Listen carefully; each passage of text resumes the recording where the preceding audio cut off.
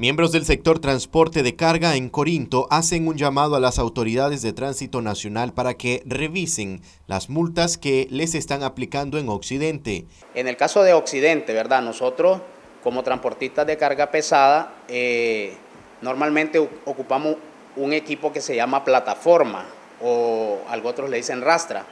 Ese equipo es un equipo multifuncional porque lo ocupa en algún momento para cargar granos básicos para cargar azúcar en jumbo de los ingenios, para cargar estructuras. Entonces, por ende, cuando vas a cargar granos básicos, nosotros le montamos algo que le llamamos baranda.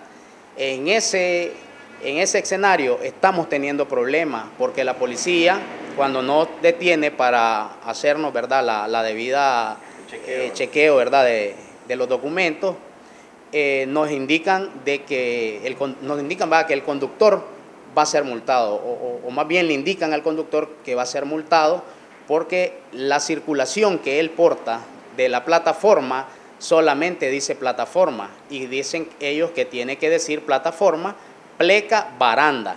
Sería una frase mixta para que pueda, dice, circular, ya sea sin baranda o con baranda.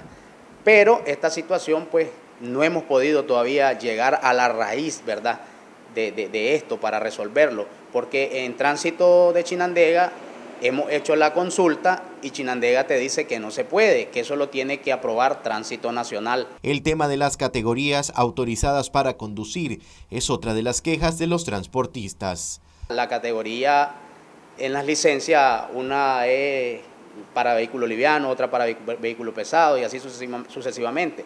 Sería bueno que fuera de nuevo como era antes, que el que tenía la categoría 7 para manejar un equipo pesado, podía manejar los equipos livianos, podía manejar eh, un camión de 8, un camión de 12, un vehículo liviano, etcétera.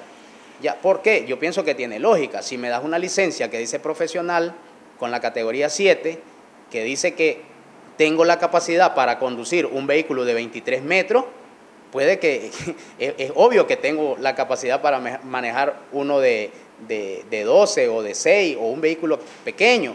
Entonces, esa es una de las pequeñas incomodidades que tenemos, ¿verdad? Y queremos ver si le podemos encontrar respuesta a esto en algún momento a través del gobierno, en conjunto con la Policía de Tránsito y ATN, pues, ¿verdad? Que siempre nos está apoyando en las demandas que nosotros le hacemos llegar a ellos.